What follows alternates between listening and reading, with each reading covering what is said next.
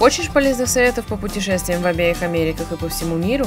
Интересно знать, что думают о нас по ту сторону океана? Тогда смотри сериал путешественника и журналиста Виктора Аспидова.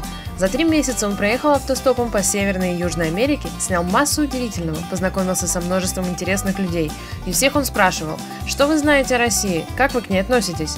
Две Америки, а Россия одна – это не коммерческий сериал о путешествиях автостопом и об имидже нашей страны в мире. Смотри его и узнаешь как.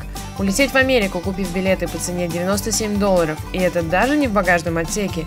Проехать 11 стран с приключениями от Нью-Йорка до Сантьяго де Чили и обратно, при этом остаться живым, вроде.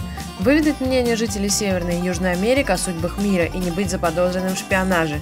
Застопить такси, мотоциклы, катера, автобусы, скутеры, полицейские тачки и даже поезд, но не в стиле Анны Карениной избежать тюрьмы, нарушая законы штатов во время стопа и при этом не давать на лапу, получить медаль полиции штата Вирджиния без откатов и интима, снимать и фотографировать везде, где запрещено, и порадовать зрителей еще и кадрами из полицейских машин и эпизодами обыска.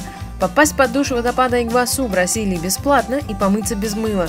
Забить три гола в футбольном матче с бразильцами у них на родине и получить футболку их сборной.